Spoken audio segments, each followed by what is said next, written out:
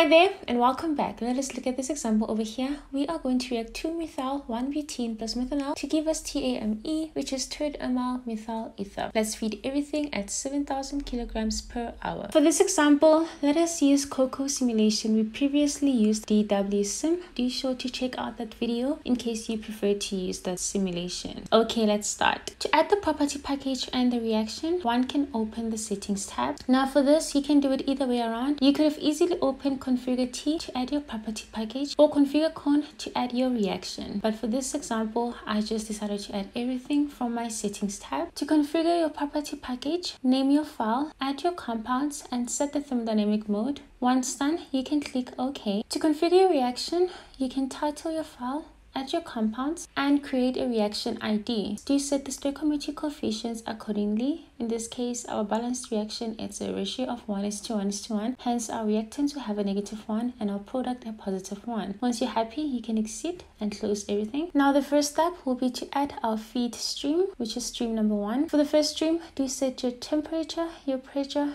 and your mole fractions. Let us add 0.5 2-methyl 1-butene and 0.5 methanol. Next, let let us add our Gibbs reactor. Select all the reactive compounds. Select the conversion. Define the outlet temperature. We are going to feed everything at ambient temperature. Hence, we are going to say liquid phase. Once that is complete, let us add our outlet liquid stream. Insert the stream report. Then run your file. After running our file, we can see that we achieved a great conversion of our methyl tert-pentyl ether at 0.96, which is great. We can pump everything into our first distillation column by inserting a pump, relevant streams, and our distillation column. Let's use a simple distillate. For the first distillate, let's have 35 stages. Set your column pressure and select the ChemSep. A second page will pop up. Do define your thermodynamic properties, your pressure. You can also define the column spec or leave it like that. Since this is our first trial, you can also check the operations tab and ensure that you are feeding your feed where you want to feed it. Let's feed it at the 18th stage. Once you're happy, do close everything. Connect all the relevant streams, which is our D1, the distillate from the first column, and the bottom stream, which is our product TAME. We can run the file to observe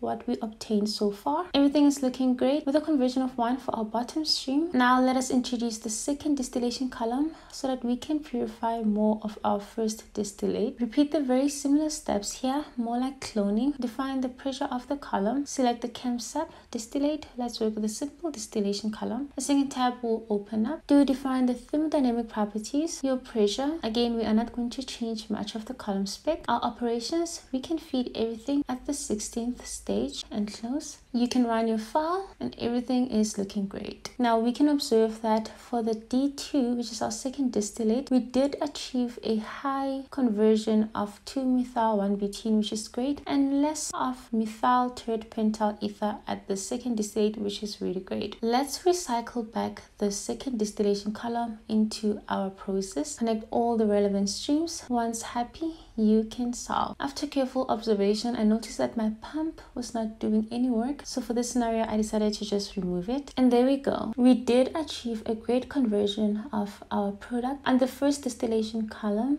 at the bottom. Not so much on the second distillation column. We only got 95%. Roughly not bad. One can also introduce another third distillation column to just try and achieve a higher conversion or manipulate your variables. This was great and nice to solve. Thank you so much for watching. Till next time. Bye.